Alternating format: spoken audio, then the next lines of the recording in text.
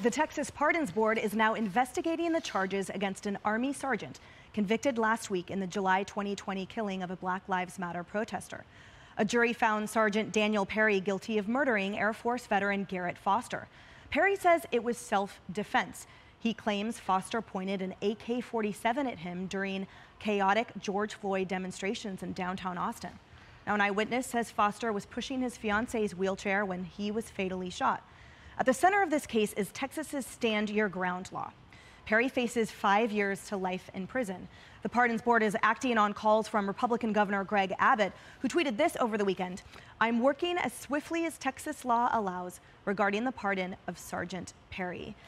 Kayleigh, something that I found interesting about this case is the use of the concept and phrase nullify by sort of both sides of this argument. So um, Abbott himself said Texas has one of the strongest stand your ground laws of self-defense that he said that cannot be nullified by a jury or a progressive district attorney. And then note that critics of his decision to analyze this say, well, you are seeking to nullify a jury's ruling and essentially prosecutorial discretion. Yeah, we see the power of prosecutors across this country. We saw it, you know, last week with the indictment of a former president with DA Bragg here. We see it now with a George Soros-backed prosecutor named Jose Garza, who decided to bring this case, even though the individual left the scene. He called 911, Austin PD investigated, and they said uh, that this was lawful self defense. But leave it to Garza, who campaigned on prosecuting cops, to bring this case anyway. It's not just this case. He's also brought a case against 19 indicted officers, despite, again, the police department saying that uh, there, there's nothing to see here. And in fact, they accuse him, this is the Greater Austin Crime Commission,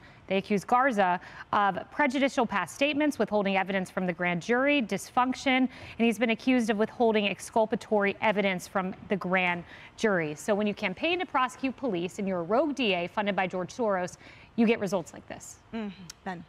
I think there's two things here that concern me. Number one, this is an individual that went out there, was working, serving his country, and tried to make extra money, and then someone points an AK 47 at him. If a gun is pointed at you, and I've had that horrific experience, you're not thinking about an activist DA, you're thinking about saving your life. And when you have a firearm to protect yourself and you have to pull that trigger, it is not a fun moment. I've done it. It's miserable. The court cases that ensue, being threatened with your life in the courthouse, as I was, I was a, I was a target of a gang initiation in my hometown mm. of Memphis. Wow. When you go through that, and you get in the elevator and then they come after you and you know that there's a chance that you could have done something wrong. In the hours after that happened, I was treated like I was a criminal because they don't know what happened. Right. And I remember sitting there in that room at three in the morning by myself going, what's going to happen in my life? Because you're like, should I pull the trigger? Obviously, they were shooting at me. I felt like I could shoot back. But it starts playing with your head and your mind, and you go through all that. And I can just tell you, I can't imagine being him knowing that someone pointed an AK 47 at you, and you saved your life by shooting at them before they shot you. And then you call 911, you do the right thing. Same thing that I did. You go to the police, you tell them where you are, you tell them what happened. They say you're good, it's defense, right? You're okay. And a year later, an activist DA comes in and says, no, no, no. You're in the military. I'm going to go after you because you're in the military. This is a Black Lives Matter rally, so I get to check that box too. And I'm going to get reelected because this is about getting reelected. Yep. This is a liberal city in Texas where this gives you credibility with liberal voters on election day. And the fact that it happened at a, at a Black Lives Matter rally was all that mattered to this DA. If this would have happened on a random Tuesday, I promise you'd be a free man right now. But this was a double whammy. I get to nail a guy that wears a uniform Hmm. And I get to claim that I'm a woke liberal and I'm going to get reelected. I think that I think he should be pardoned. I think he spent far too much time in jail already. I think he should hug his mother again, his family again, as, me, as quickly as the governor can pull this off, hmm. because this is an abuse of power. Thank you so much for sharing that personal experience, Ben. I'm so sorry that happened to you. It, it, um, and it blows so your we, mind when it happens.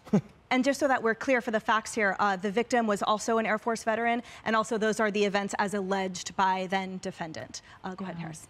You know, I am curious, um, and I'm so glad you're okay. I mean, that, that was sort of breathtaking moment for you to share that.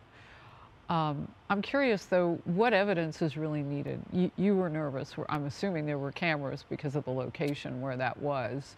Um, a courthouse, I think you mentioned. Well, no, at the courthouse was when I was sitting there, and they take you downtown afterwards, Okay. and they treat you like you could be. They're waiting for someone to show up at, a, at, a, at a hospital. Yeah.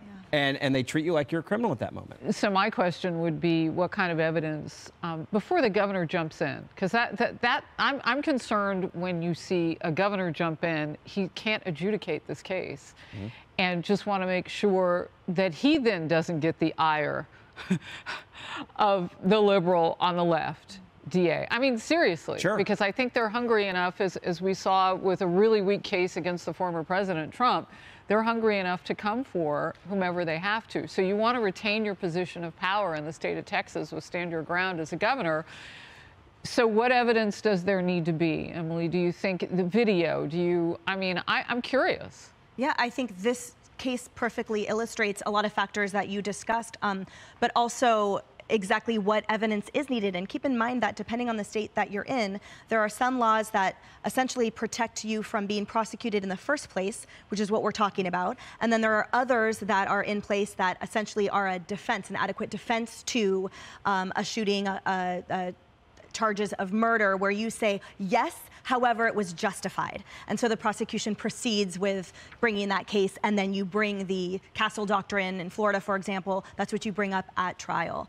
Um, but I think this also, Tammy, you know, sort of brings up as well the interplay that in the justice system, where do we err? Where do we want people to err? Do we want them to err on the side of, of innocence, err on the side of mercy? You know, what roles the governor and these pardons board plays?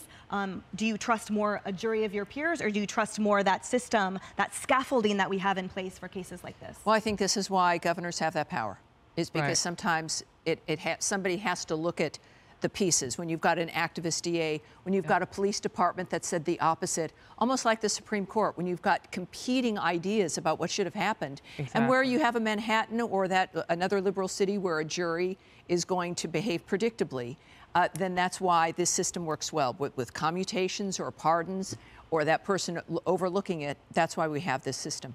Yeah, and the reason I, I bring up whether or not he takes a hit politically or or even legally from a hungry DA is because of what we just saw with the former president.